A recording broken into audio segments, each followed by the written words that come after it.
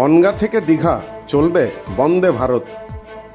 শুক্রবার দেশের রেলমন্ত্রী অশ্বিনী বৈষ্ণবের কাছে বনগা থেকে দীঘা পর্যন্ত বন্দে ভারত এক্সপ্রেস চালু করবার ব্যাপারে আবেদন জানান বনগা উত্তরের বিধায়ক অশোক কীর্তনিয়া।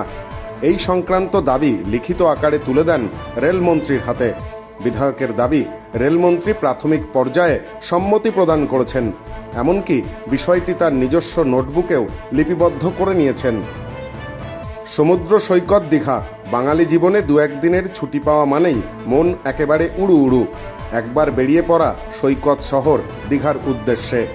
এবার যদি এক ট্রেনে চেপেই সরাসরি পৌঁছে যাওয়া যায় দীঘাতে, বিধায়ক বলেন, তার আবেদনপত্রে রেলের যে রুট তিনি দাবি করেছেন, তা হল বনগা থেকে বন্দে ভারত ছেড়ে হাবড়া, বারসত, দমদম হয়ে ডানকুনি হয়ে দীঘা পর্যন্ত পৌঁছাবে বন্দে ভারত।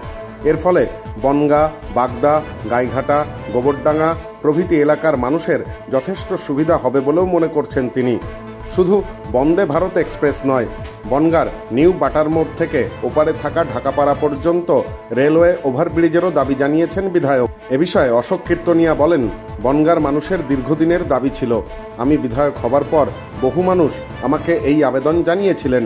রেলমন্ত্রীর সাথে দেখা করে আমি আমাদের দাবি তুলে দিয়েছি। দেখুন বনগাঁবাসীর প্রথম দুটো দাবি ছিল, বনগাঁ রেল স্টেশনে একটা হচ্ছে ওভারব্রিজ, নিউ বাটার মোড়ে, এবং বন্দে ভারত, বনগাঁতে দীঘার জন্য।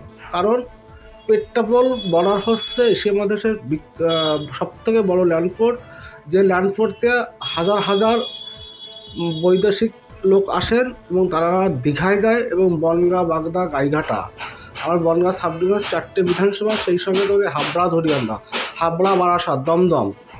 ধরে ডান দিক থেকে বেরিয়ে যাবে যে লোকটা এরিয়াটা পাবে তাতে রেল, রেলও লাভবান হবে এবং সর্বোপরি বনগাঁবাসী হিসাবে যদি এটা চালু করতে পারি, বনগাঁর মানুষেরও উপকার হবে। যার দরুন এই দাবিটা আমার দীর্ঘদিনে বহুত লোকে আমাকে দাবি করেছে, আমি আমি চেষ্টা করেছি, মাননীয় মন্ত্রীজি, ঐশ্বর্য বৈষ্ণবজি আমাকে কথা দিয়েছেন এবং তিনি তার ডায়েরিতে লিখে নিয়েছেন।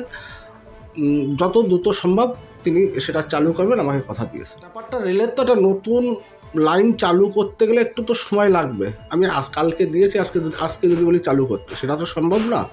আমাকে দুটো, দুজনের অফিসারের দায়, নাম্বার দিয়ে গিয়েছেন মাননীয় মন্ত্রীজি, একজন যিনি পশ্চিমবঙ্গের রেলের সম্পূর্ণ দায়িত্ব আছে, আর একজন আর একজন অফিসারের নাম্বার দিয়েছে, এই দুজনের সঙ্গে কথা বলতে বলেছে বলে এদের সঙ্গে যোগাযোগ রাখবেন যত দ্রুত সম্ভব, এটা আমি চালু করার ব্যবস্থা করব।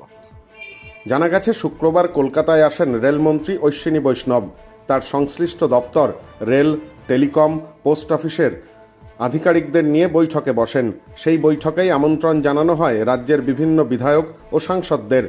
তাদের কোনো দাবি দেওয়া, এলাকার উন্নয়নে কি প্রয়োজন, সে কথা জানতে চান রেলমন্ত্রী। সেখানেই লিখিত আকারে বনগা থেকে দীঘা বন্দে ভারত এক্সপ্রেস চালানোর আবেদন জানান বনগা উত্তরের বিধায়ক অশোক কীর্তনিয়া। সব্যসাচী ভট্টাচার্যের সাথে সোমনাথ মজুমদারের রিপোর্ট নিউজ নোম্যান্সল্যান্ড বনগা।